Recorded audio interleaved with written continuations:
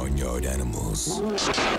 Prepare for a horror show from one of the guys that brought you The Simpsons. Stan Against Evil this fall on IFC.